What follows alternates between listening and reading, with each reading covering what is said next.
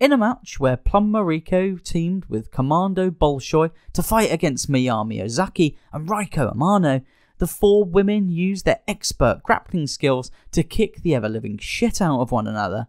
Forget divas prancing around in WWF in 1997, their Japanese women's wrestling counterparts were as tough as the men and equally skilled.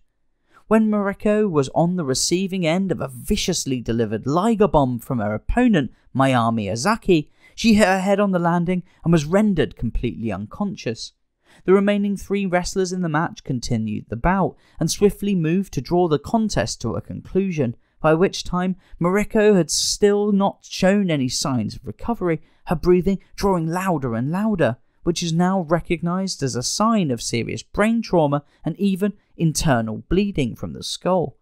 The medical team in attendance clambered to deliver Mariko to a local medical facility where she underwent immediate surgery to her head, where the doctors found a pre existing abscess on her brain as well as internal bleeding. They were unable to save the 29 year old Mariko, who became the first ever wrestler to die in the ring in Japan, and put out a statement explaining that the young wrestling star should never have been allowed to fight in her condition, imploring other wrestlers in Japan to get checked by a professional in order to prevent such a horrific yet avoidable death.